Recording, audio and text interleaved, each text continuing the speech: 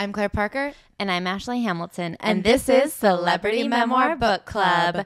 Thank you so much to Boll and Branch for supporting our show. Boll and Branch created a new standard in bedding by doing things the right way, not the easy way. Experience the best sheets you've ever felt at bollandbranch.com. Get exclusive access to a post sale 20% site wide discount through the end of April with the promo code WORM at bollandbranch.com. And thank you to Dame for supporting the Celebrity Memoir Book Club. Get 10% off your first order at dameproducts.com when you use the promo code WORM. And Ashley, for everyone who's a first time listener, what should they expect? Well, they should expect something a little different than your everyday book club, okay? I would argue no. I would argue they should expect something a little bit different than your everyday ingredient list. Sure. I just feel like we're something between an ingredient list and a book club. I think an everyday book club is a club where no one has ever even heard of or mentioned a book. That is true. Famously, in my mom's book club, nobody's ever read the book. And I think an ingredient list is quite famously full of uh, flour and dust. But here, here at Celebrity Memoir Book Club, we are legitimately reading the books, adding a sprinkle of spice, dust, and sugar. Yeah. How do you cook? I don't know. But yeah, we are two comedians, best friends. We're going to talk about the book. We're going to talk about what we think about the book. And we're going to talk about what we talk about when we're actually talking about the book. yes, along with some wild accusations. And if you don't like that, as always, you are free to just find a different thing to listen to for one hour and 15 minutes. And if you do like it, Ashley will be thanking our five star Apple reviewers at the end of this podcast because we appreciate you so much.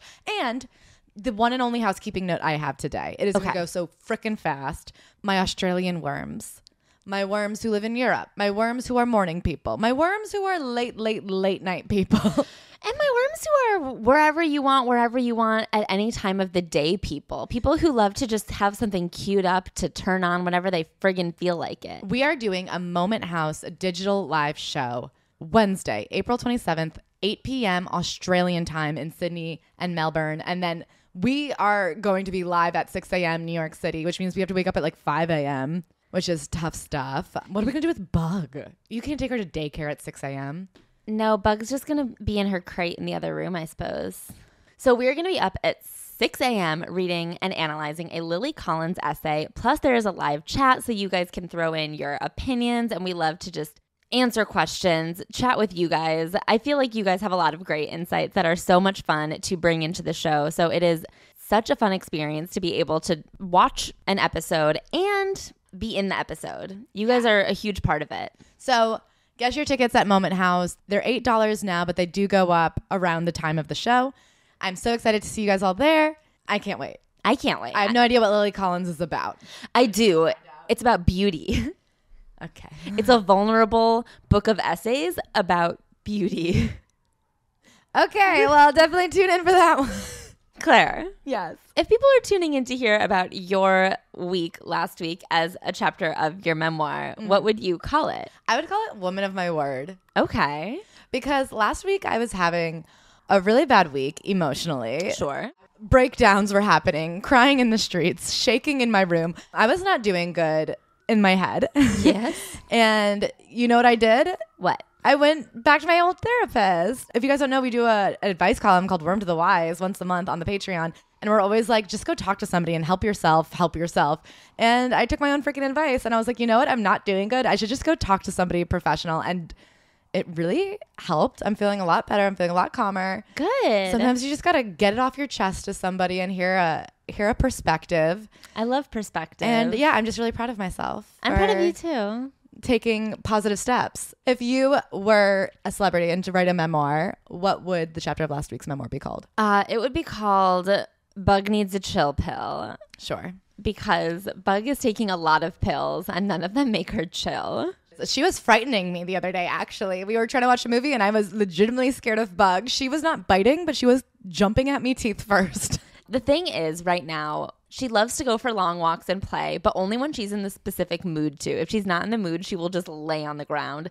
So, like, when it's time to go for a walk, she'll just lay on the ground and then she'll have all this pent up energy four hours later when I'm trying to watch a movie or just hang out with my friends. And I'm like, Bug, we got to do my schedule, not yours. This is not fair to me. I work so hard to keep you happy. I take you to the doctor every fucking day because there's always something wrong. Right now, it's that she's allergic to chicken. Can you believe dogs can be allergic to chicken? Especially because there's so much loose chicken in this city, it turns out. I know. Well, chicken bones are like a whole separate hazard, separate from being allergic to chicken. But I had her like eating a chicken based food, and then she was getting little pimples on her tummy. and I had to go to the doctor and be like, What's up with these little pimples on her tummy? And they were like, Oh, puppy acne. And I was like, She's a teen.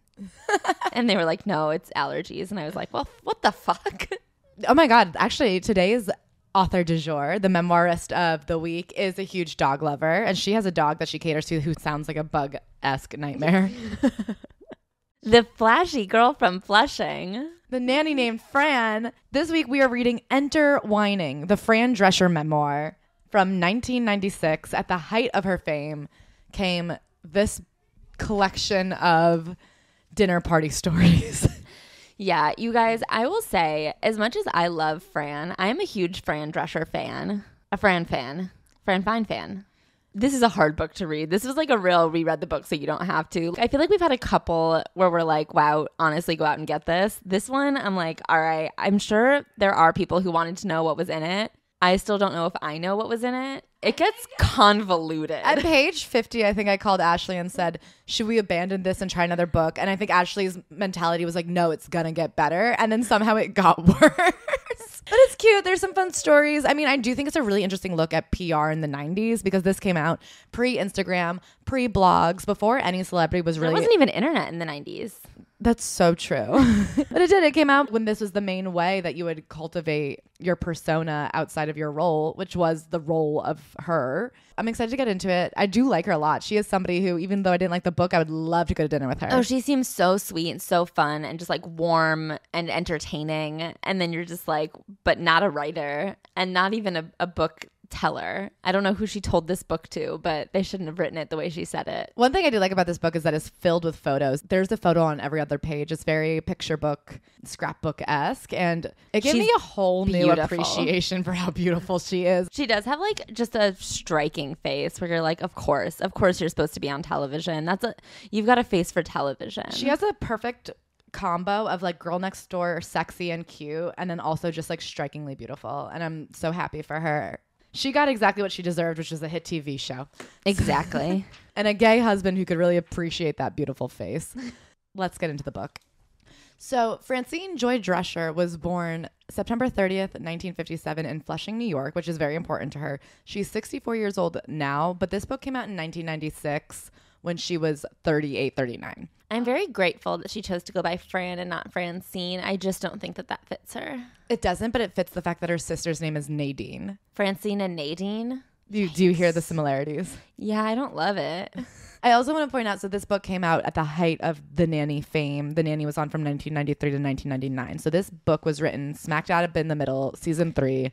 I think when it was really at its peak. Yes, she references season three a lot. She also does have another book called Cancer Schmancer that came out more recently. This book came out before that book. So, Cancer Schmancer is about her battle with breast cancer, which she did not yet know was coming when she wrote this. Also, I think it's of note, she wrote this book like three years before her and her husband got a divorce, and he came out as gay. Yes, that is important to note. When we get to the content about their relationships, it's something to keep in your mind. Okay, so it opens with a bit. She decides to open it with a little joke on us, the reader, a little April Fool's, if you will.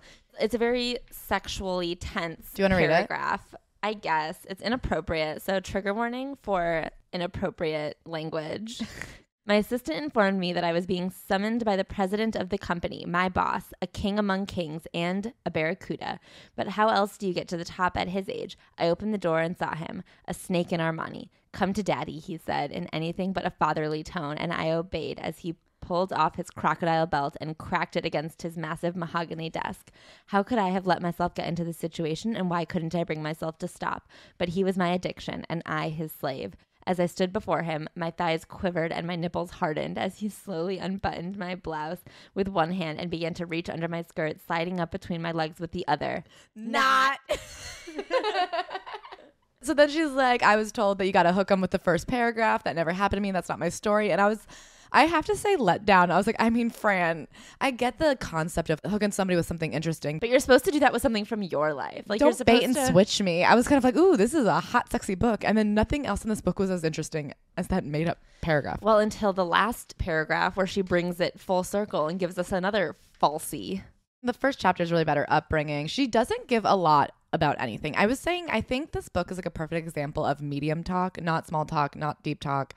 She would be the perfect person to sit next to at a dinner party. She's got amazing, funny little stories. She's got quick little anecdotes that are like fun and charming and warm. And I think she's a bit more open than most people are. She seems like she'd be wonderful to talk to at a party, like a true joy to spend a couple of hours with. like you would leave and be like, I have a new friend, and then you would never really meet up. But so she grew up in Flushing, Queens. She was raised in a very Jewish family. Like culturally, I'd say it doesn't seem like they were super religious. No, but it does seem like they were really Yiddish slangy. Yeah. So the first chapter opens with her childhood and the fact that she has been with the same man at the time of writing since she had been 15 years old. They met in high school. They're both from Flushing. He was hot, she was hot. They both were into theater. That's where they met. And they were like the theater kids. They were together from that age on.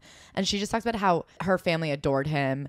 And she tells this story like her life reads like a sitcom. And I do think because she was in a sitcom and the sitcom was based off of her, and as you'll see, all the characters in The Nanny are based off of her life, this book was sort of to round out. Like the persona that you know. Like, if you think this is Fran's life, wait till you hear about her mom. Yeah. So she talks about their relationship. She says a lot of people ask what we attribute our 17 year marriage to. Screaming. We fight and yell and sometimes hit rock bottom just like everyone else, but we both want our marriage to work, so we don't hesitate to seek therapy when we have problems. I do feel like if they hadn't broken up because he was gay, this would have been really good advice. Yeah. Also, that they laugh together all the time. They laugh till they cry, she says. I really do believe that part of what made it work was that they were best friends who respected each other and had the same goals and came from this not that Flushing is a small town, but they came from the same background and wanted to go to the same place. And that is like hugely comforting. But she does say, Peter later admitted he thought I was the most beautiful girl he had ever seen, and then I spoke. Who knew that combo would intrigue him even more, but it did. You got a face out of Vogue and a voice out of Selma Diamond, he often quips. Listen, I don't want to be stereotypical, but I do feel like for a 15 year old boy to be like, wow, you've got a face that belongs in Vogue is like a bad sign. So, like you said, this book is like dinner party anecdotes. It's like sitcom B plots. Like a lot of it is very funny situations that just come from her real life that don't really coalesce into any greater story other than the story of her life. I would say you get a sense of her personality, but you wouldn't get a sense of who she is emotionally. Do you know what I mean? Like I get a sense of like how fun and warm and great she is to work with, but she doesn't delve deep. No. So she, here's what she gives you about her upbringing. I come from very humble background. I was born in New York City, well, actually Queens, well, actually Flushing, and honey, it's a world away from Manhattan. When I was a young child, my dad worked two jobs to support us, but when he got home, he always made sure he kissed me and my sister Nadine good night, even if we were fast asleep. We felt his love, and my mother, the most loving, happy person I'll ever have the privilege of knowing, created an adoring, wonderful, and safe environment in which we kids were able to blossom. They always said we don't have a lot of money, but we're very rich, and we were. It really is like the perfect family sitcom in the 90s about like there's funny stuff and there's crazy stuff and there's hijinks and they butt heads and everybody's mad and then everyone's happy, but at the end of the day, they just love each other. That just is who she is. Yeah, and everybody's like very two dimensional in their caricature. Do you know what I mean? So her mom is like this loving, happy woman who is always complaining boisterous, boisterous, and always complaining how she can't eat before a flight because she's just too nervous. But anyway, could you give her a bite of corn? You know what I mean? Like, so the, the story she tells about how much her mom loved her boyfriend was even in high school. Like there was this huge storm, and she was like, "God, I could really go for a sundae with wet nuts." And he went out in like a torrential downpour, came back with a sundae, dry nuts, and she goes. Uh, but I can't really eat it unless they're wet. And he's like, "Do you want me to go back out in the storm for you?" And she's like, "Could you?" just like all these funny little stories that I do feel. I guess like life imitates art, and art imitates life, baby. Yeah, she said a happy family, good health, an ice cream sundae with wet nuts, and a $2 movie at the multiplex pretty much answers all their prayers, especially if they can sneak into another feature. That's just like who her family is. They love what they love, and it's very simple. But she has big dreams. She has big dreams. So I guess in high school she was really beautiful. She doesn't bring that up here, but she must have been because she starts applying to beauty pageants. She applies to her first New York City high school beauty pageant. It's called the Miss New York Teenager Pageant. And she's the first runner up. And she uses this immediately to leverage her next success, which is each day after school, I would dial talent agencies and introduce myself with my new title. Hello, my name is Fran Drescher, and I'm the winner of the Miss New York Teenage Pageant. So I exaggerated a little. Sue me. Meanwhile, I got myself an agent. So she was very ambitious and just like went out and got it done. And I do think she's somebody who lived the life that she should have. She was a beautiful, funny girl who went after her dreams and they worked out as it should. like you're just like, yeah, why not you? And there was struggle. Like she's been through stuff. It's not like it was just a smooth sailing. Like she walked into Hollywood and was like, hello, Hollywood, I'm here. And then she was the star of a show. The nanny didn't happen till her 30s. But she did have successes. There was never like a drought that was so long there was no reason for her to continue. Like she had a good sense that it was all going to click into place. She was always paying her bills with acting from the day she decided to do it. So first she got her first role, which was in New York. She was doing a little bit part in Saturday Night Fever. Yeah, and she had to use her own words, chutzpah. A lot of chutzpah. Like I said, there is like just so much personality in these pages. It doesn't go deep, but you do She has a strong voice. Yeah. She's a really strong voice in it. I mean, literally and figuratively. like this line I feel like is very indicative of the voice you get throughout the book where she talks about being an extra in a bunch of projects and she says, "All right, he was the star and I was an extra, but remember there are no small parts, just small salaries." And you're like, that's funny. "That's funny stuff." I think she had such a supportive family that she had like no doubt or shame, which I think is great. Like I wish I was more like that. But she tells a story about she was an extra in the background of some movie. The casting director really liked her. They put her in everything. They put her in the background of everything. And in the background of some big shopping mall scene, she dropped her bag.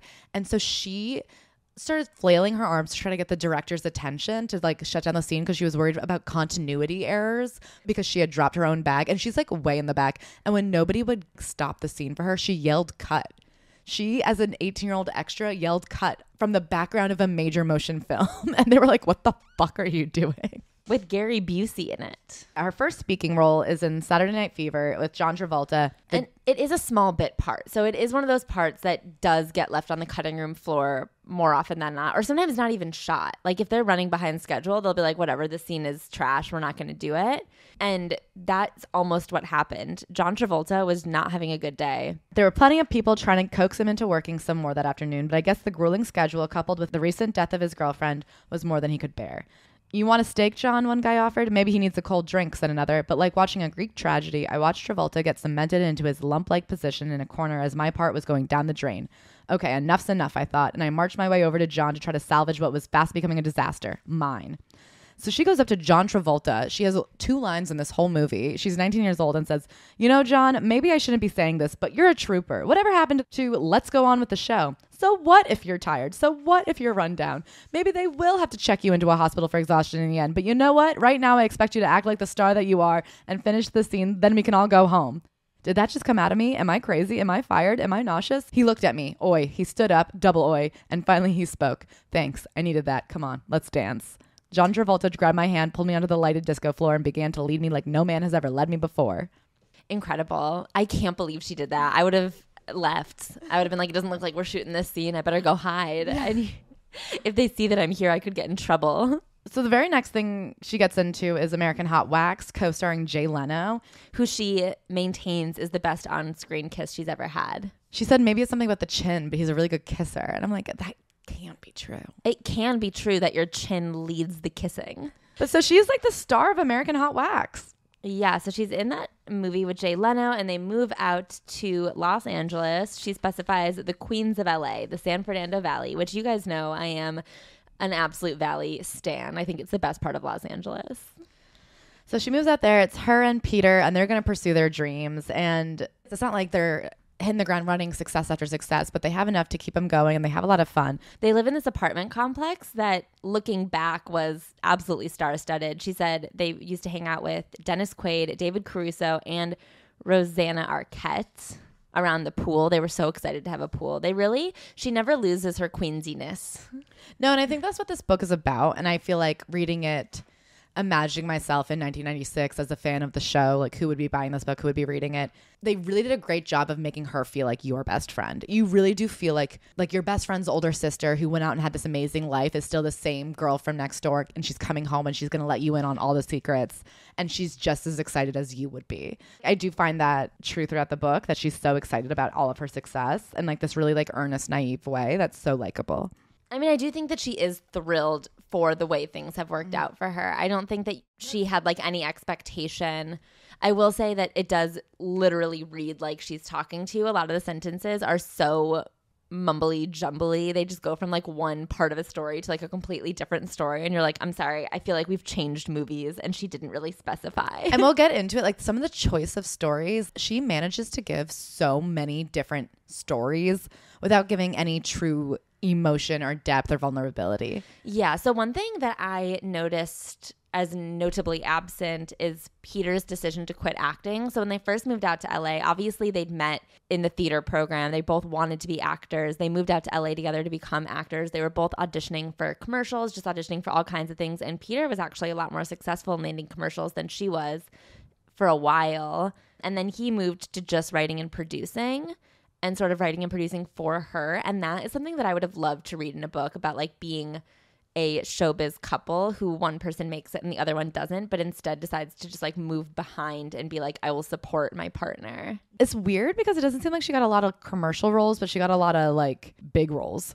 Yeah. So after she was in American Hot Wax with Jay Leno, she gets Hollywood Nights co-starring a then unknown Michelle Pfeiffer, and I'll tell you, she was absolutely gorgeous. She wore these short shorts. In my life, the girl had the thinnest thighs I've ever seen. My mother thought they were too thin. She would. I just feel like that is so like you ran into someone at the grocery store. I don't know. Yeah. So then we get to her and Peter's wedding. They weren't necessarily obsessed with getting married. It just kind of felt like the right thing to do. They grew up in Queens. Everyone from their neighborhood was getting married, and they were gonna be together. She said they'd had a joint bank account since high school. Yeah, they paid for her ring over three carats. To the naked eye, it's gorgeous, but under the microscope, they're shoveling coal in there. I thought that was so funny. But yeah, she says they paid for it with this joint account. Who has a high school savings account with their boyfriend? I don't even think I had a bank account in high school. It really was crazy. But she does have this whole thing about how she had to get this big carat because all of the girls from home had these bumbas on their fingers. And she goes, and pretentious, I mean, Peter wanted me to have a bumba too. He goes, it was so weird. All these girls without a pot to piss in with these rocks on their hands. Anyway, so she talks about like the anarchy of this wedding, which it's hard to read. This chapter goes all over the place. There's a lot of drama over literally everybody's dress. And I will be honest, I'm going to say in absolute honesty, reading Fran Drescher's memoir, I could not give two fucks about her grandma's dress to Fran's wedding. Well, not only that, but it was one of those things where, like, I guess the joke is that her mom was so upset over nothing that it was like ridiculous. But at the same time, you're like, I actually am genuinely confused what she was upset about. You're not describing it well. I truly cannot follow what's happening here. I think her friend and her grandma wore the same dress with their names painted on them. Yeah, there was a dress that they found at a beach store that had their names in rhinestones in tulle. I don't know. And there was like, what color would everybody wear? I have to say, as beautiful as Fran Drescher is, she wore one of the ugliest wedding outfits I've ever seen in my life. Yeah, well, it just it had like a cap to Like it. Like a swimming cap. Like imagine if instead of a veil, you had a bridal swimming cap with a veil on it. and it also had rhinestones. I will say she looks like a princess in that way where like your outfit is so ugly you must be royal. this is so funny to me. She said my mother had her hair done the day before and sat up all night in the living room chair in fear of deflation. She also had this thing where like there was no room in the parking lot for her wedding guests, so everyone had to park around the corner and then somebody who was supposed to bring the cigars, his car got stolen while he like ran in to the 7-Eleven, so her dad had to go pick him up and then they couldn't park anywhere, so they had to take like a They had to go back to the 7-Eleven to park and then take a cab to the wedding. These are really stories that I think just make people laugh until they pee at a Thanksgiving. but if you were somebody's date to that Thanksgiving, you'd be like, "Oh yeah, you had to be there, huh?" These are big. You had to be there, You had to be there. and you love her for telling you. You're so excited to be invited to Thanksgiving at Fran's house, but you also cannot keep up with the jokes. Her sister set her hair on fire at one point and she had to like dump a celery dish on her head. Once again, everything reads like a sitcom episode. Big book of hijinks. a sitcom episode that hasn't been like fleshed out into the actual storylines yet. They're like, all right, here are the things that could happen. Here's something funny I heard happen to my aunt. What if we put this in the show? And people are like, "What?" Mm. And then she said she just went and sat in the car for the second half of the wedding because her feet hurt. They had their wedding night at her childhood home. Like they went back to her parents' house and slept in her bedroom. That's so cute. Okay, so then they're back in LA, married, and they meet this woman named Elaine who invites them to a party, and it kicks off just like a lifetime of friendship and agentship. So Elaine becomes their agent. This is like some more funny observations about this first big Hollywood party that they get invited to. She was waiting in line for the bathroom and she says, oddly enough, it was always occupied and there seemed to be several voices coming from behind the locked door. Talk about a spastic colon, I thought, and in vain offered my Pepto Bismol to the eight sniffling people who were exiting. What is it, allergy season? All right, so I was naive in those days. She also says there was a famous, famous actress there who got so drunk she passed out in the middle of the living room and nobody even noticed until she was in the way of the buffet. Anyway, so Elaine and Alan end up becoming best couples friends with them. They have a couple good couples friends. They're big couples people, yeah. Yeah. I think when you spend that much of your life as a couple, you mostly make couples friends. So in the chapter called Elaine, she tells six or seven different stories that happened with Elaine that are funny, and they are all funny, but they kind of amount to nothing. But the whole chapter ends on they have a, over this famous TV exec for dinner and they're like excited to wine and dine him. And then he gets there and he's acting so weird. And he like takes off his shoes and he's like, My feet are cold. So Peter has to go get him socks. And then he passes out like cold and they don't know what to do. So they just put him on the couch and they eat lasagna, waiting for him to come through. And when he finally wakes up, he just like runs away and drives off and they never see him again. And he stole the socks. And that is like a funny story. And I do think if I went out to LA and called up my old friend Fran from Flushing, And we were talking about like these crazy TV exec stories like oh my god i had this crazy meeting and she's like you won't believe this dinner I would be like, that is a funny story. But in this book, you're like, okay, So then she gets Spinal Tap, which she almost didn't take because the pay was really low and the project was kind of confusing at that point. And I feel like we tribute these mumblecore, mostly improvised movies to the late 2000s, but she says Spinal Tap was almost completely improvised. There was a 25 page outline that the entire cast got, and from there it was just kind of make it funny. Yeah, she says they have like 300 hours of footage that they whittled down to 90 minutes. That's insane that they were able to do that because I will tell you, very few people are able to make a good movie down to 90 minutes, and they should all be 90 minutes. I mean, me and Ashley just watched Marry Me. That was two hours. Was it only two? Because it felt like a hundred.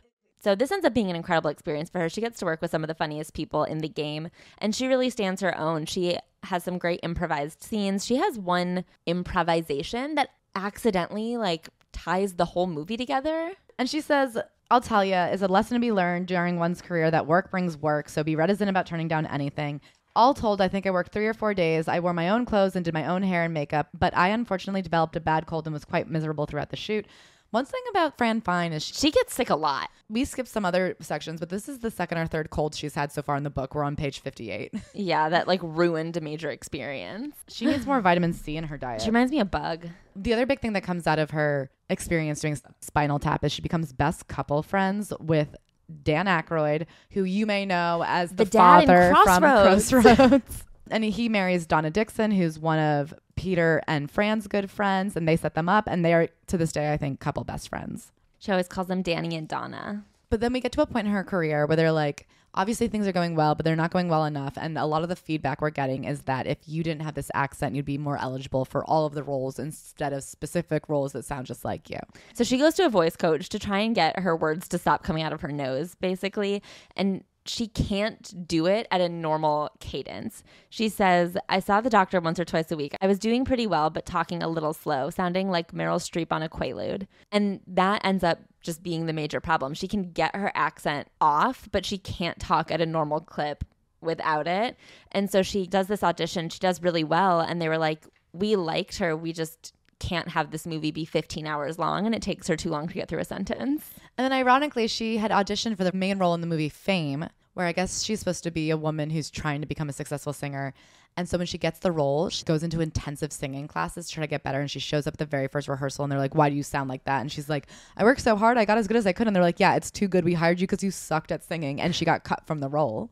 I don't understand why she couldn't have just gone back to being bad at singing. I also don't understand why nobody told her that that's what the role was. Like, didn't she read the script? How did she have that little understanding of what the movie was about? Well, it wasn't the movie, it was the TV show version of Fame, which I don't think ended up being anything special. So Okay. I don't think it's the worst thing in the world that she got cut from it. So then around then in her late 20s, they find a lump in her breast and she has to get surgery. Luckily it turns out to be benign, but But this chapter really stressed me out because she says recovering from this surgery to get the benign lump removed was the worst pain that she's ever been in. And as we now know, she had not benign tumors in her breast later. So it, it made me feel really sad that she had to go through this again and worse. So she found out right before Memorial Day weekend that she had these lumps and they weren't going to be able to do surgery until the following week. And so she had these plans with her friends for the weekend that was supposed to take her mind off of it, and those friends canceled.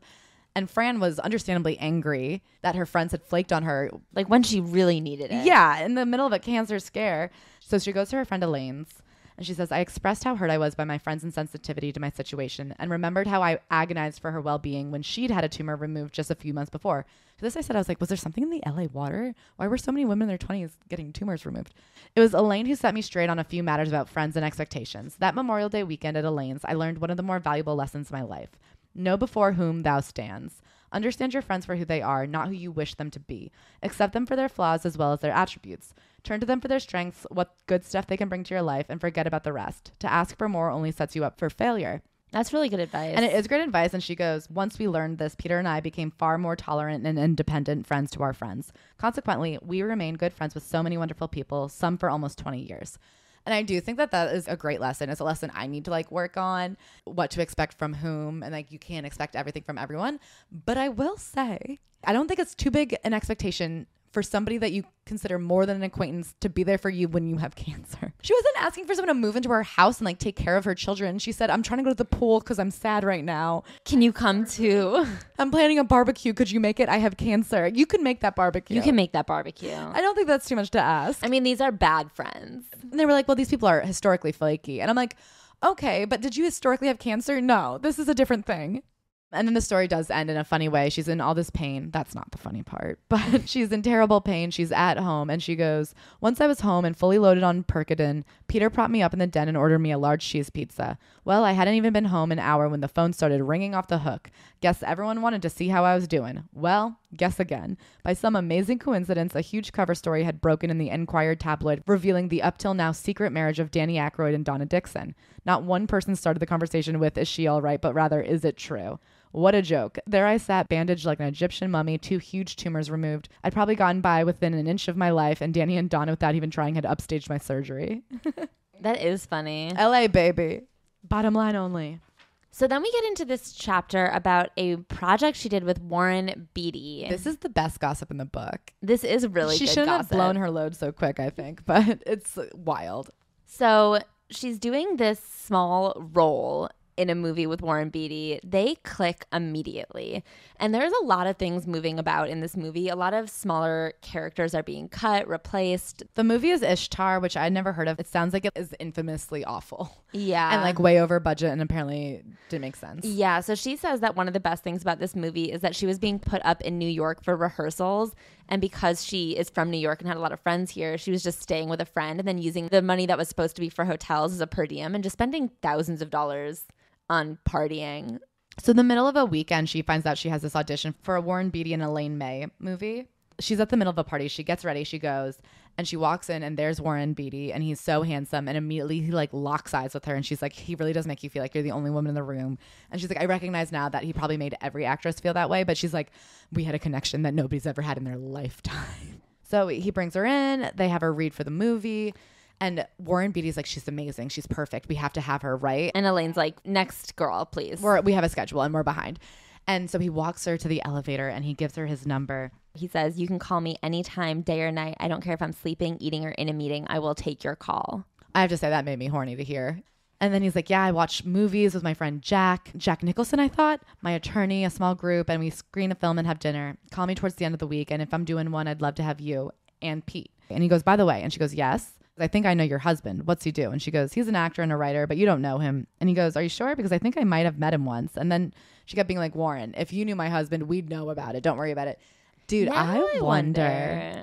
I don't know if like Warren Beatty is known to be bisexual or anything. I do know he's like hypersexual and in LA. So I wonder if her husband had hooked up with Warren Beatty and kept it a secret. I would love to hear about that now. Me too. But anyway, they don't get to go to the movie and hang out with him, but she goes to New York to film this film. So she gets to the movie and he gives her a call and he's like, We're gonna have a good time. And she's like, At that point, I felt a bit off. Like, mm, okay, the vibes are wrong now. I don't know if I love this. And she gets there and she has this really tiny part that they kind of wrote for her. She's in a single scene, but for some reason she's at the table read and rehearsal for every single day. And she's like, it's weird that I'm here and like the top billed people are not, but whatever. He wants me here, so I guess I have to be here. And his very beautiful girlfriend is also in this movie. Her name is Isabelle Adjani. She's French. So they're at rehearsal one point, and this very famous casting director is there and he calls Fran over and she's like kind of excited because here's this important casting director. And she goes over and then he points to his knee and says, Come sit on my lap. Now, call me crazy, but I felt embarrassed and somehow like a piece of meat. Maybe because the casting guy was in mid conversation with him, but the request seemed disrespectful to both of us. And I said, You'll sit on my lap before I'll be sitting on yours, which I think is a great comeback. And I was proud of her. As if he hadn't heard me, he began to tell the casting director what a brilliant young actress I was while guiding me with his hands on his lap. Like an idiot, I was bounced on Warren Beatty's lap while he sang my praises to this casting director. Well, as soon as he stopped telling the guy how great I was, you can be sure I got up and marched off, feeling somehow soiled but maintaining my dignity. Warren was the most powerful and openly aggressive man I'd ever met, and I was clearly out of his league when it came to experience. Plus, he was so cute in his baseball cap and sneakers, it was difficult to ever feel like anything but an awkward schoolgirl. So then, a couple days after that, he asks, Have you ever met my girlfriend, Isabelle Adjani? I hadn't, but was interested in meeting her. She was this beautiful French actress with round cheeks, white porcelain skin, and berry stained lips. So he's like, Well, let's go meet her. She's just down the hall in wardrobe. Unbeknownst to me, I was being lured into the lion's lair. So they go meet the girlfriend. Warren brings her in and says, Look who I brought. And she says, You're very beautiful. They talk about how they'd been discussing her in bed. Then Warren took over and said, We were hoping you would like to join us for dinner this evening, just the three of us. And she says, Now I don't have to be hit over the head to know exactly what was being proposed. God knows I hadn't been to Europe, nor did I speak French, but I sure as hell knew a menage a troiserino when I saw one and proceeded to stammer and stutter through my response. Oh, um, that sounds very nice, uh, but I think, no, no, I'm sure I've got, I mean, I definitely have plans with my friend Todd. Menage a Troiserino is a very funny way to say it. So then she says years later, she was sitting next to Warren Beatty and Annette Bening at some award ceremony, and they were like, Oh, we love your show. And she's like, Really? And they're like, Yeah, we watch it in bed every night. And she was like, God, Warren's still discussing me in bed. boys, sometimes things do come full circle. So then we have this chapter about real estate, essentially, and about how hard it was for her and Peter to find the perfect home that they wanted to move into. I do not care about the search for a house. I don't care about finding the perfect place, dealing with real estate agents, any of that. What I want to know about your house is what kind of bed sheets you have. Here's a little thing about bed sheets that I don't think a lot of people know. Thread count is a myth. Is that true? It is absolutely true. Well, then what did Uptown Girls teach me? And Branch uses the best 100% organic cotton threads on earth for superior softness and a better night's sleep. The sheets aren't just buttery, breathable, and impossibly soft to start. They get softer with every wash. It is about the quality of the thread, not about the number of threads. You can put a million bad threads in a sheet, it's not going to be a great sheet. But when you use this 100% organic cotton thread, that is what gets you a wonderful sheet for a wonderful night's sleep. I love my Boll and Branch sheets. We got pairs, We have the Boll and Branch signature sheets, and, they I'm a, I'm obsessed with them, and they do get softer with every wash. and they come in such good colors. You have white, but I have spruce, and I think that they make they bring me so much joy when I look in my room and I see beautiful deep green sheets. Boll and Branch sheets fit the deepest of mattresses and are labeled with top and bottom tags so that making your bed is easier than ever. It is helpful. Best of all, Boll and Branch gives you a 30-night risk-free trial with free shipping and returns on all orders so that you can just triple check that you are getting the best night's sleep possible. Trust me, you're going to want to keep them. Experience the best sheets you've ever felt at bollandbranch.com. Miss the post Boll and Branch April sale, our listeners get exclusive access to a post sale 20% site wide discount through the end of April with the promo code WORM at bollandbranch.com. That's Boll and Branch, B O L L A N D branch.com, promo code WORM for 20% off through the end of April. And once you are comfy in those sheets, experiencing what you thought was the most pleasure you'd ever felt, well, I've got news for you.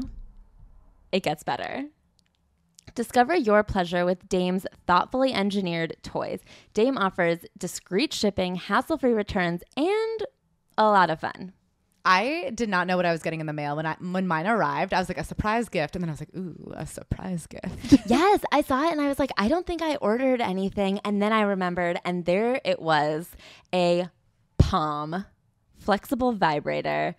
It is a flexible vibrator that bends to your needs, wink, and contours to the shape of your body, wink, wink. it is an incredible way to de stress. It's soft and bendy and has five different patterns, five different intensities. It's also completely waterproof. I'm. I'll. I'll, Wink. I'll let you know. wink, wink. Claire, have you uh, have you plugged in your Pom yet? Mine came fully charged. So I was Oh. like ready to go. Maybe mine was fully charged. I charged it just in case, and I was completely honest. I know that this isn't the most important part, but I was very impressed by the little charger cable. I found it very easy to use. I liked it. I mean, listen, I don't need to go into detail, but it worked. You know what I mean? Like I know what you mean. it worked for me too. You know what I mean. And you can get 10% off your first order at dameproducts.com when you use the promo code WORM. So her next big break is called Cadillac Man, which is a movie with Robin Williams that I think sucked. I think for a really long time she was only in bad movies. Yes, I think that she spent most of her career in pretty bad movies. But people always said she was wonderful in it, to which her manager, Elaine, said, It's better to be a shit in a hit than a hit in shit. But I always seem to be the latter. In fact, one magazine writer once coined me as the actress you can't forget in movies you can't remember. I do think that that is like a debatable sentence. A hit and shit versus shit and a hit. Well, I do think from the perspective of a manager or an agent, they would rather you be in like Transmorphers. Well, that's not a movie. Yeah, but it's like, would you rather be the character actor in movies that don't go anywhere, or would you rather be? Like a nothing actor in major movies. Yeah, I, I still think it's debatable because I do think that being great in a shitty movie, if anyone does see it, you're the one that they take away from it. Whereas, like, if you're a tiny nothing actor in a huge movie, no one remembers that you were in it at all. I think it's better. Would you rather be J Lo and marry me, or would you rather be an actress in something that bombs? I guess I was thinking of it in quality of movie, not in money of movie. You know who was a shit in a hit? Who? I hated the actress that played Donna in that 70s show. like, I love that show, and every time she's on, I'm like, this fucking sucks. Ah, it's your Scientology prejudice showing again. Oh, but so the whole premise of this goddamn chapter, Cadillac Dog, Is which that Chester was in the movie? Chester is her an is her bug. I almost said annoying dog, but I'll call her a bug. Chester is like this high maintenance, yappy little dog who is in most movies apparently. Because Chester's just with her on set, and then they'll be like, oh, we need a dog for this scene. And it really does make you wonder about how films are made. They just keep putting Chester and stuff. He ended up making a $1,000 a week on this film. Yeah, he has a manager. He's doing better than us. Which memoirist was like, I thought you just showed up and it worked. oh, Mindy Kaling. Yeah. It does if you're a dog. so then she has this chapter called Growing Up is Hard to Do. By the time I turned 30, I began to notice that I'd never done anything by myself. If Peter had an audition or something, I'd search for another companion to do something with. And if all attempts failed, I'd simply lie in bed and yak on the phone with my mother until Peter got home. So she decides to go on a vacation alone. She's going to go to France to visit some friends, which is mm. still not alone, but Yeah, she's, going without Peter. She's going on the plane alone. She literally took a cab to the airport by herself. and she's going to meet her friend named Catherine Ireland Weiss, who is not Kathy not Ireland. Kathy Ireland. So she has just been in a show that got canceled called Princesses with Twiggy, Yes. the model. and another girl that nobody liked. The show wasn't going well, and they kept on kind of thinking it might come back for a season two, and then finally they were like, No, "No, they canceled it in the middle of the season and they were going to retool it for s- episode seven. oh, And everybody on the set was like, hey, I can't wait to see what they retool. And Fran was like, this is dead. They are not going to retool it. They're going to like take it out to the back of the shed and kill it. which they did. Anyway, so then she's on this plane by herself, and she runs into the president of CBS. So they kind of have a long conversation by the the water cooler of the plane, the drink cart. I don't know. She's like, I was on the plane. I was looking like shit because I'm on a plane. And she's like, I was in sweatpants. And she decides to run into the bathroom and just put a little hair and makeup on. If I didn't think quickly, I might miss this moment. And I felt the frustration of indulging my insecurity in the moment and then kicking myself repeatedly afterward for not grabbing the brass ring on the merry-go-round. And I thought that was such a good line about times you haven't stood up for yourself or spoken out or like grabbed the bull by the horns because you're worried about the way you look. Literally, specifically that insecurity of being like, well, I don't look my best, so I'm not gonna go for something. And I was like, that's so true. Just like do what you gotta do and try anyway. So she does, and she walks out of the bathroom, and there he is, the president of CBS. And they have a long conversation. We know that she is a great run into and have a conversation gal. Like we don't know from experience, but everything we assume about her is that she would be the person you want to run into and have like a fun chat on the plane. She tells him that she has a bunch of ideas for TV shows and he's like, "Well, when we get back to LA, we should we should talk about those." Can I also name drop something specific that they say in this book that I think is a relic of the 90s? We chatted about the wonderful Relais and Chateau, a very exclusive, very discriminating membership of privately owned small inns and hotels around the world. Hotels that dotted the California coastline, New York, Los Angeles, yada, yada, yada. And she's like, luckily I'd stayed there once. This whole time she's like, every fancy thing that I've ever done, I'm like name dropping to impress him. And she's like, thank God I live outside of my means because I've done things I really shouldn't have. I just am interested in looking into it. If any of our listeners know about Relais and Chateau, is that a thing that still exists? I've never heard of it. Yeah, well, we're not rich. Yeah, but I feel like I like to dabble in awareness of the fancies. That's true. It would have been on a goop by now. You're the person who told me about Bruno Cucinelli. yeah. Anyway, so then she writes, I was experiencing a moment where life was in perfect harmony. I felt us really connecting as he just nodded and then grabbed the stewardess for a scotch. So they have this great conversation. They make plans to meet up back in LA, and then she's like, All right, this solo trip was worth it. And she calls Peter as soon as she gets off the plane to tell him who she ran into. And then she begins her solo, but like with friends, trip. Okay, can I just say, she says, guess who I ran into in the plane? And Peter's first guess is Cher. And she goes, look how he goes right to Cher. She should only know how my husband has the hots for her. It is definitely the hots. So then we get to the weirdest chapter I've ever read in any memoir. And I say that having read almost 100 memoirs. She just gets to this chapter about her time visiting her friend in France and spending time with her friend and the two kids and how much she fucking hates these kids. The kid is like two and a half. And from the beginning, she's like, all he wanted was fruit. She kept asking for bananas. Like, he wouldn't shut up about the bananas. She starts calling him Dennis the Menace. She's like, we got him drunk at one point just to get him to fucking shut up. She's like, at one point, she's like, why don't you take him to town and see what happens? And she's like, finally, when he was gone, thank God he stopped crying. She's like, she, all she does is talk about how awful this kid was. And then she ditches and goes to London to meet up with her friend Twiggy. But I was just like, man, listen, I'm all about making fun of Kids. kids. I'm all about like self deprecating. We tease Bug. I would never write a chapter in my memoir being like, anyway, Ashley got this dog. It was a terror. And she is a terror. Listen, I joke and I kid about Bug, but I love Bug. I wouldn't go too far because I know that that's your family. And you can't really talk about people's families like that. Yeah, I do think that to be like, oh, then we had this kid and the kid was a little crazy and we had to, we were running around chasing after this kid. What a time. But you can't be like, God, this kid fucking sucked. I had to leave. I had to go to London and get out of France because this kid was terrorizing France. So then she goes to London. She stays with Twiggy and Twiggy's family. And this is where it gets even worse because she's like, now this was a family. Yeah, she's like, these kids were great. They were beautiful and proper. she's like, they didn't fucking talk all the time. So she stays with Twiggy in Twiggy's house with her beautiful husband and their beautiful teenage children. And she's like, this is something. And they become the inspiration for the nanny. Yeah, she's like traipsing the daughter all over town because Fran wants to sightsee. And they kind of like start this joke that Fran is the nanny from hell. And they're like, that's it. That's the show. She comes into this beautiful, proper home and like teaches her queen's tips to these fancy children. So then they go back to LA. They call for a meeting with CBS, the guy that she had met on the plane, Jeff Sagansky. And they're like, well, you can have a meeting with the comedy development team. And when they get there and they're waiting for the meeting, they see Jeff and she goes up to give him a big hello and kiss. And she makes a point of being like, the man who had all the time in the world for me on the plane suddenly treated me like a peon. Well, on the plane, he didn't have anything else to do. Yeah, they didn't have internet back then. Yeah, especially on planes. They don't have internet on planes now. We have yet to invent it. I mean, she says specifically on the plane, she illustrates that they made an announcement that the movie was about to begin. So their conversation ended because they both had to return to their seats because they wanted to watch the in flight film. But so they pitch it. They don't hear back for a few weeks. Finally, they get word it's been greenlit. They're going to do a pilot. Yes. So they start building out a team. They meet Rob and Prue, executive producing couple duo extraordinaire. Mostly they're Yeah. going to write it. Peter and Fran pitched it. Peter's going to produce it. Fran's going to star in it. But Rob and Prue are the ones who are actually going to write it. And they wrote Who's the Boss, The Charmings, and Married People. I only know Who's the Boss. Yes, me too. But it seems like everything was a hit. So they finally set up this team. They've got the the network, the writers, And she says, Boy, I'll tell you, after 15 years of near hits but mostly misses, it's sometimes hard to believe it when you're actually in the game, a contender, a player. But there we were, two kids from Flushing, interviewing executive producers and studios for our TV show that I would star in.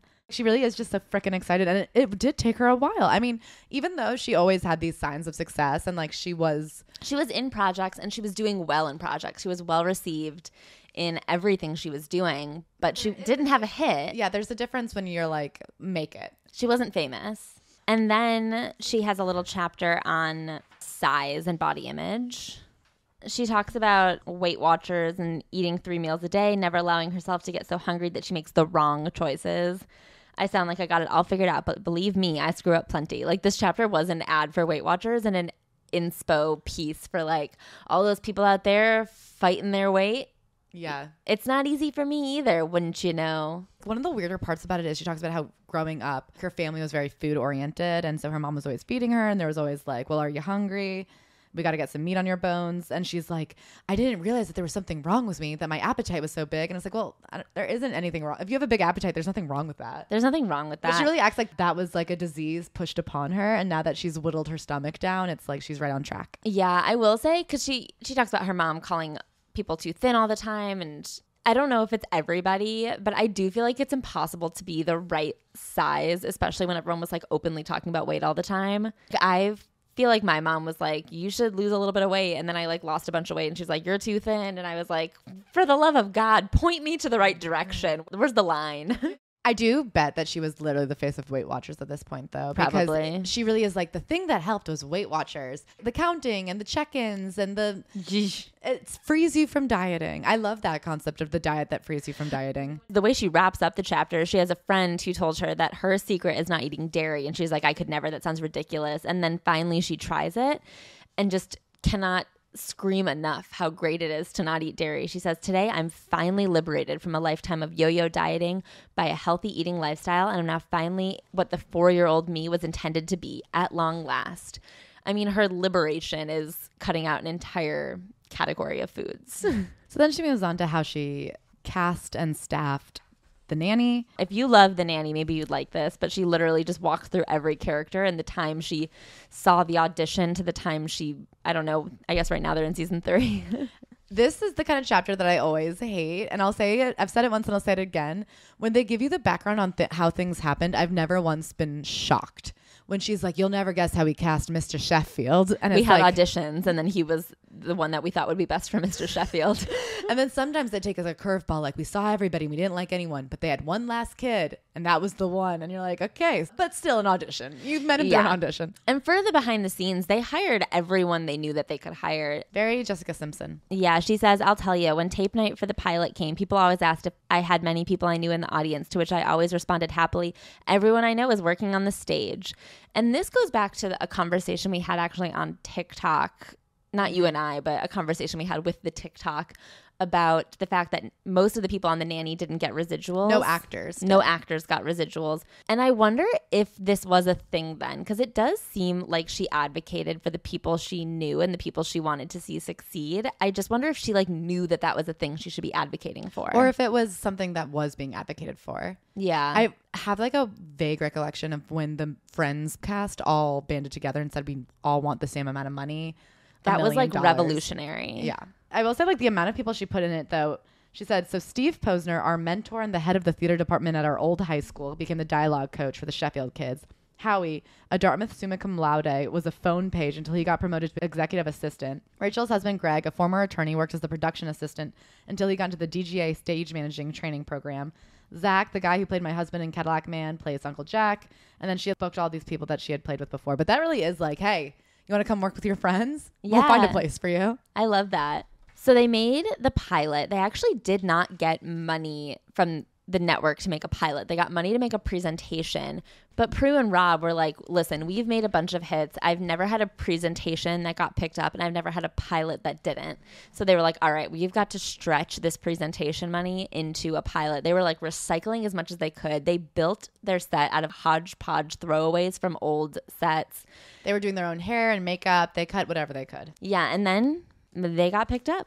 They said it was like the highest testing pilot in three years. I have to say, for season two, I'm getting ahead of myself, but they were slotted against Monday night 8 p.m., which included Fresh Prince of Bel Air, and she said they came out on top when they premiered season two. I feel like Will said he did. Like every single person is like, we were the number one in our time slot. And I do want to like look at the numbers and see who won.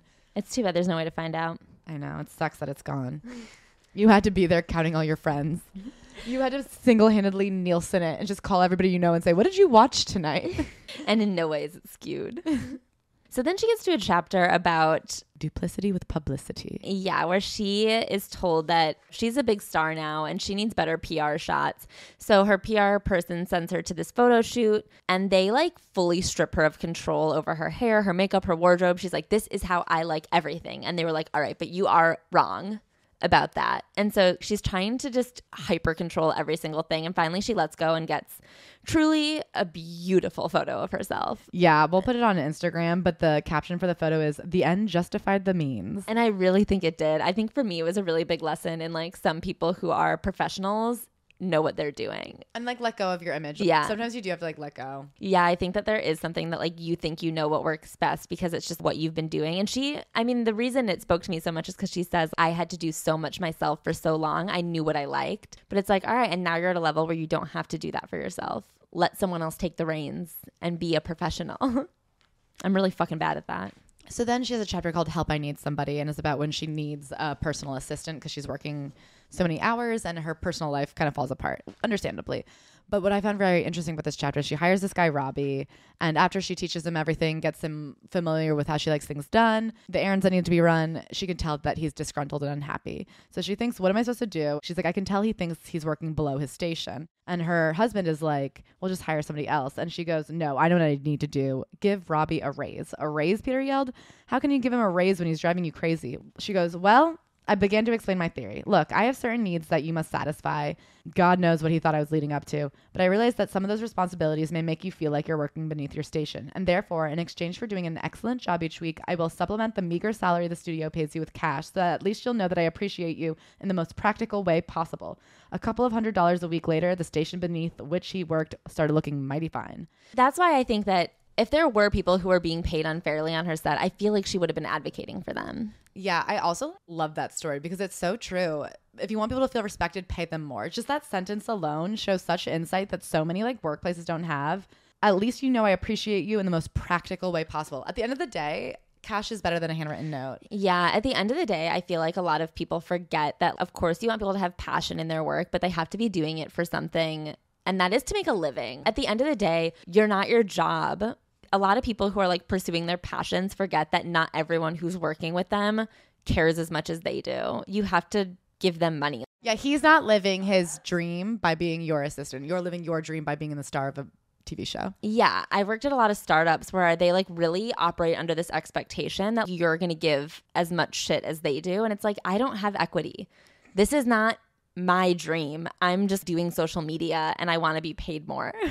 So then she has a chapter about how busy she is, and I don't know. You guys know how busy celebs are. I don't. I think that's been a bit demystified by now. And then we get into a chapter that starts with a Howard Stern interview, and I want to trigger Warren sexual assaults. So there is one jarringly horrific thing that happens in this book that she gets into. So she talks about being on set to do the Howard Stern show. This is when his radio show was being filmed as a TV show, I guess, on E. And she says, Suddenly we hear Howard telling Robin that they've got Fran Drescher about to come out and he's going to talk about this horrible thing that happened to her. She was raped, Robin chimed in. I hope she'll talk to us about this horrible, tragic rape. And then Howard goes, I think her husband was held with a gun to his head and had to witness all this. Oh my God, Robin gasped. We're going to talk with Fran all about it right after these messages. So, something different about the Howard Stern show than other late night shows is they don't do a pre interview. So, you really do have to go in there blind and he could throw anything at you. Yeah, and I guess what he wanted to throw at her was the fact that she'd been a victim of this horrific assault. Like truly horrible in the way that you're like, if you were to make up the worst thing. And so she says, I was forced to talk about it on the radio. People had written about it, but she had never come forth and told it. So she's like, in this book, I'm just going to speak on it in case it can help someone but you can tell that she doesn't want to be talking about it. Yeah, I don't think she ever wanted to think about it ever again. And the fact that people keep bringing it up, I think she like wrote it in this book to be like, this is all of the info that I will ever give. So if you ever want it referenced, refer back to this paragraph. like, all of the details about what actually happened come from that Howard and Robin exchange. She herself does mm-hmm. not give any more like harrowing details, but what she says is basically so January 5th, 1985, they had a friend over for dinner, Judy, and there had been a string of robberies in town that they didn't know about. Two brothers broke in with guns and robbed them and assaulted them. So she says that she had happened to watch a show where they interviewed police officers where they said most victims don't make good witnesses because they are dealing with the trauma so they just like black out everything and they don't remember the faces and she said because I had just seen that interview I was able to remember his face with such specificity that you would have thought he sat for his police sketch. Yeah, so she was able to go to the police, luckily, and give them a police sketch. And using this sketch, they did a stakeout and were able to catch him the next week. Yeah. I don't know. I mean, obviously, she's horrified, and her response was that she wanted to leave LA and she was going to move to Massachusetts with Peter. They moved out of their apartment immediately. They stayed at Dan and Donna's. Elaine, God bless her, made me promise to trust her and give it six months. I didn't want to. Every bone in my body told me that she and all my other friends were crazy, but I did trust, and it was possible due to such experience that I was overreacting. I mean, I don't think she was overreacting. I don't think she was overreacting, but she does say, I feel like you're sitting around a campfire and you're encouraging me to put my hand in the fire, but only I seem to know the pain I'll endure if I do. I just can't go through something like that again. I don't want to fear so deeply. I won't withstand the depths of this pain again. I mean, she's in fear that it will happen again and that she won't survive it. And she starts going to therapy. She's able to get victims compensation. So she and Peter are able to get money from the state for therapy and for recovery and they both jump right into therapy. Under such circumstances, it's best to trust your loved one's instincts over your own, no matter how wrong it feels.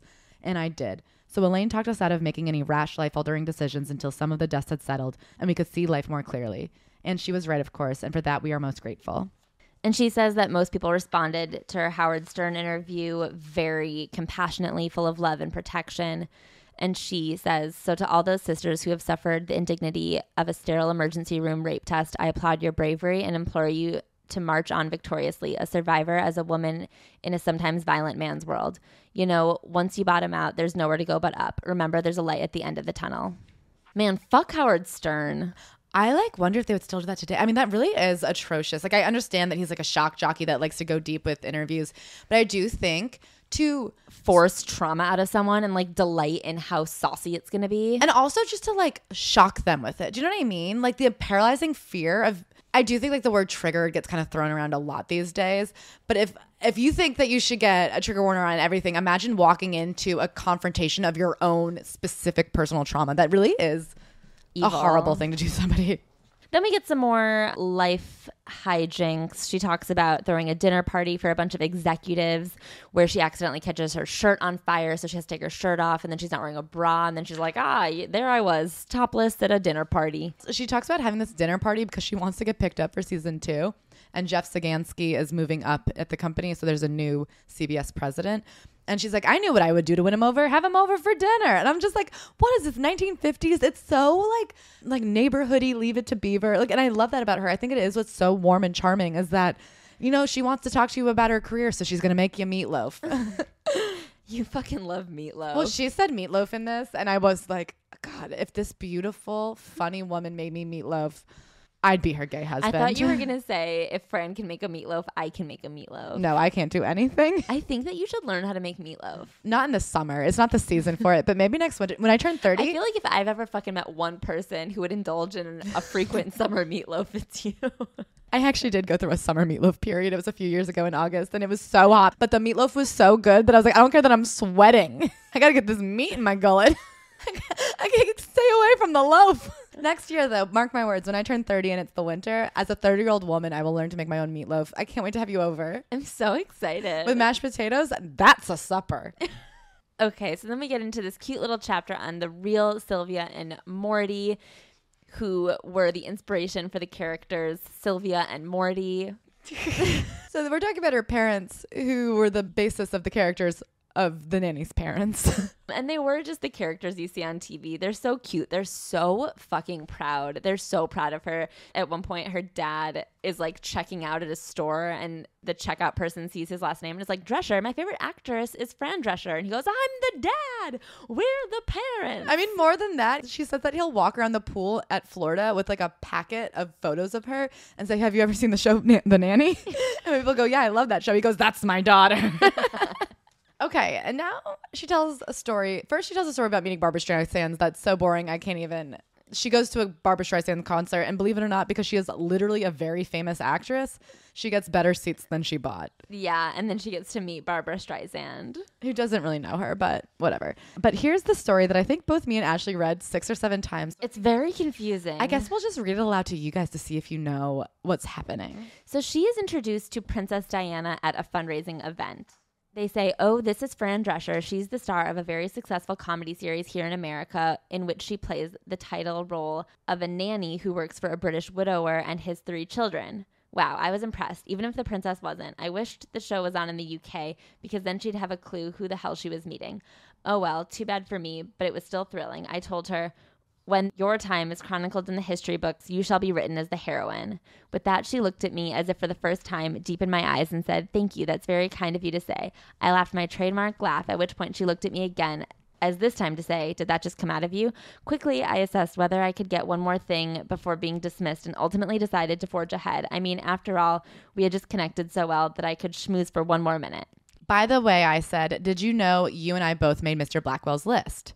And then apparently, Princess Diana said, Except I was on his best dress list and you were on the worst, she said. Nobody likes a bitchy princess, I thought, and added, Meanwhile, honey, you had Princess Margaret on your list while I've got Demi and Madonna on mine. Princess, you're on the wrong list. Then I snapped a Z in the air and marched away until I reached the end of my train and could go no further since Diana was stepping on it. She's a size 10 shoe, at least. I tapped her broad, square shoulder and pointed to her boat, I mean foot, at which point she released me.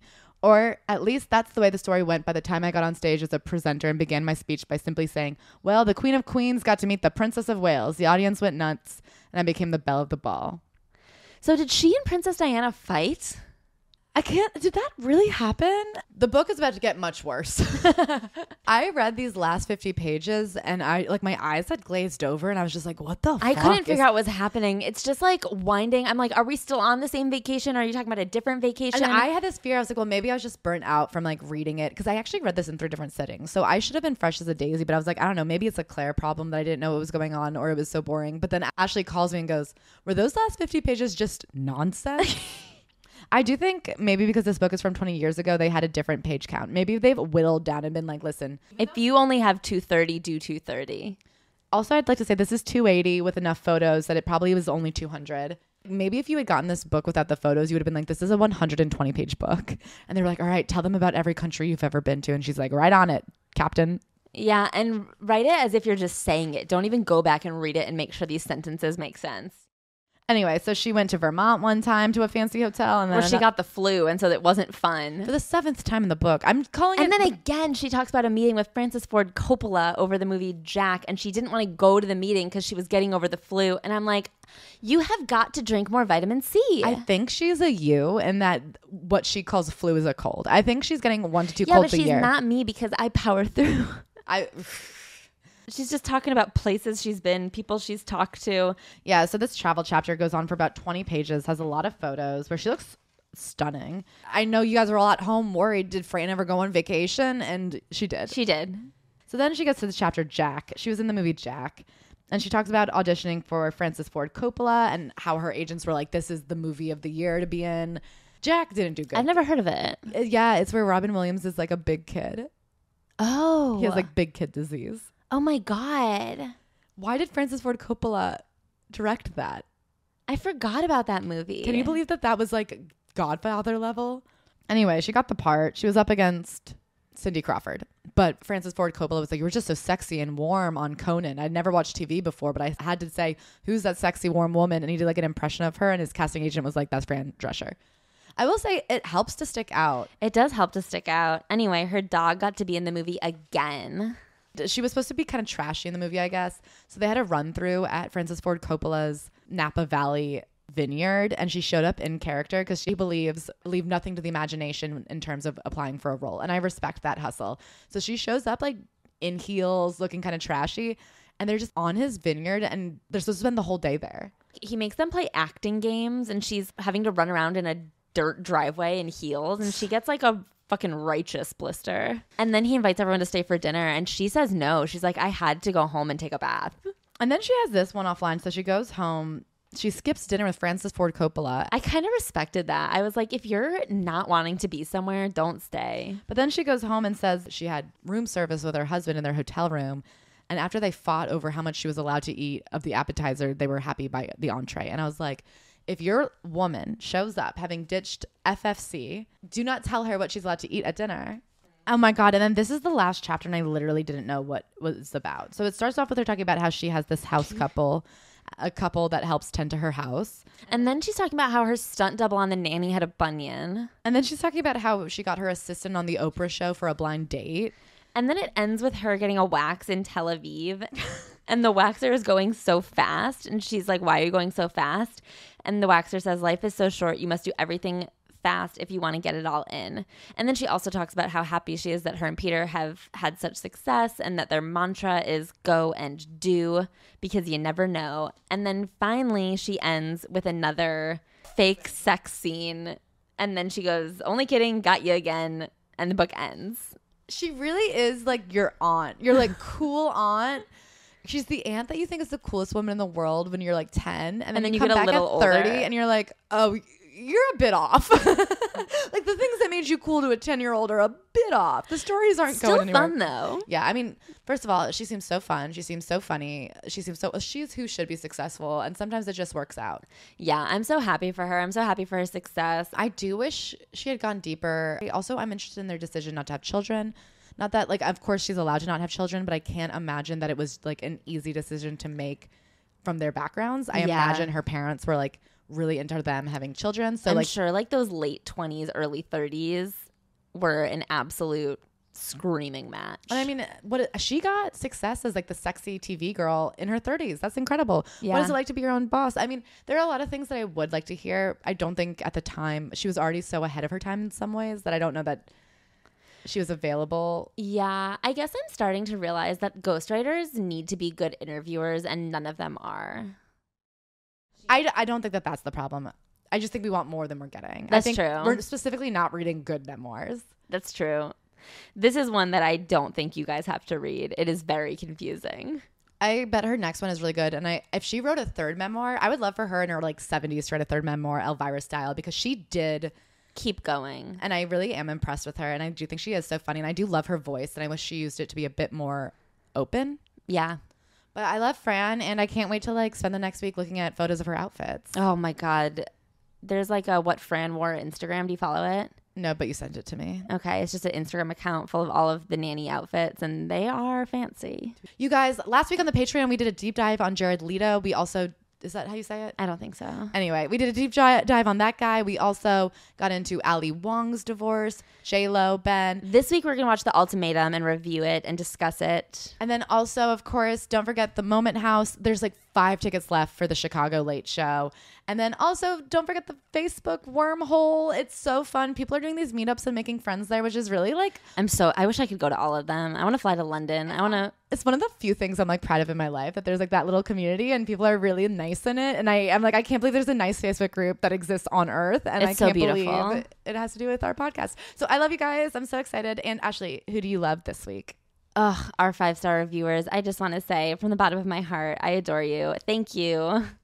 Thank you so much to Allison Renee. You are an absolute shining sun. Thank you to Cabs Joe Way J. I would catch a cab to wherever you want to go.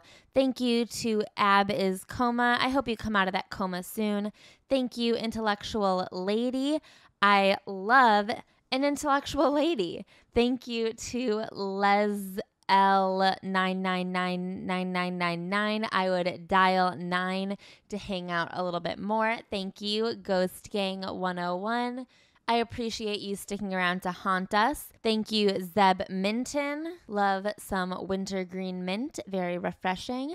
Thank you, Katie57. I would prefer 57 Katie's over 57 Heinz's. Thank you, Paige is so cool. You really fucking are. Thank you, Lily G. 5479, an absolute G. Thank you, Andy SF. I would love to come visit you in SF. Thanks to Superstar325. I love you almost as much as I love Molly Shannon. Thank you, Emily Jade 1997. You are an absolute gem.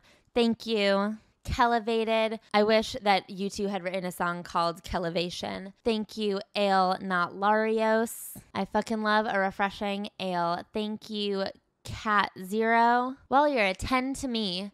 Thank you, Travis Barker's Fleshlight. Oh, saucy.